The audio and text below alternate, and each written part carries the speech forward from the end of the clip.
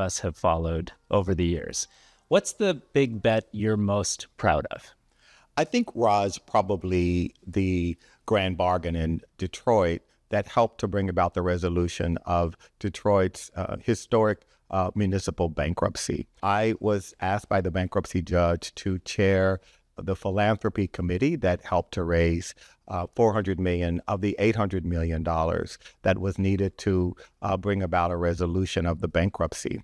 It was a very proud moment, and it was a moment of both leadership uh, and leverage and humility.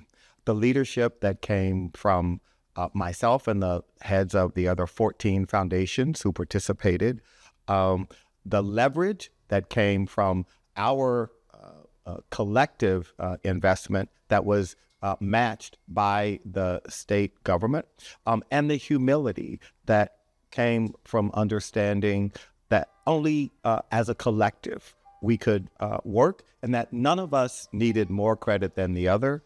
Ultimately, it was uh, the people of Detroit who won, and it's the big bet I'm most proud of. And Darren, me too. As a native Detroiter, you saved my hometown, and I'm so grateful. Thank you. Thank you, Roz.